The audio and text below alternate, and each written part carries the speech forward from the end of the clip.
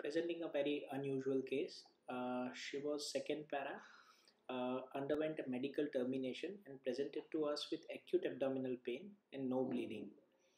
Uh, when we did sonography, the endometrial cavity was empty.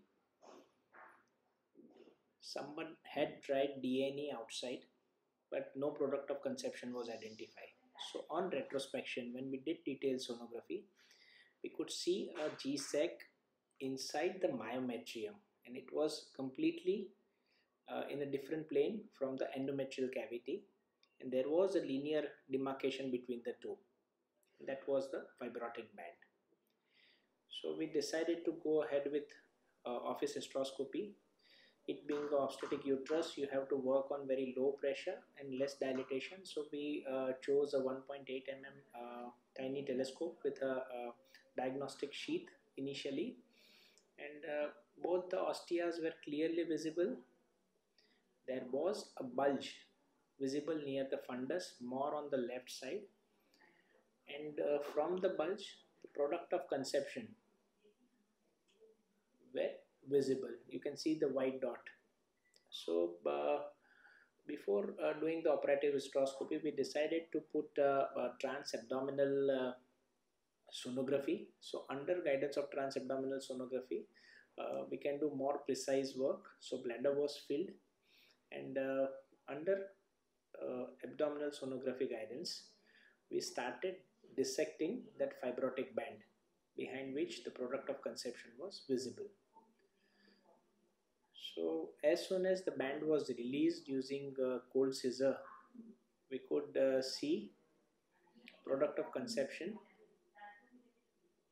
beautifully coming out of that myometrial pocket.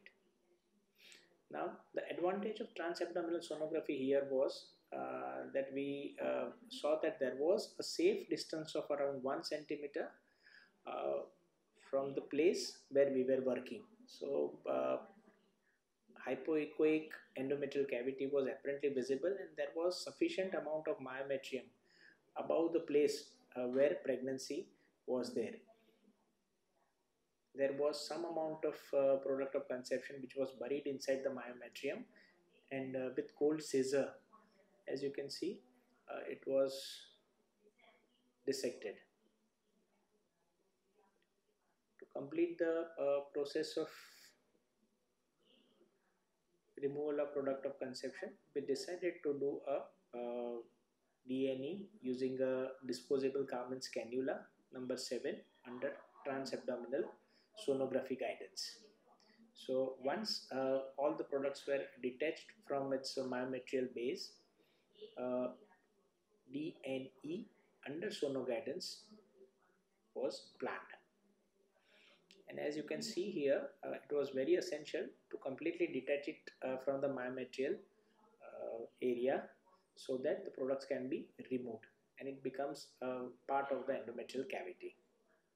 So now you can see here uh, under sono guidance to avoid creating a false passage, uh, Karman's cannula uh, was used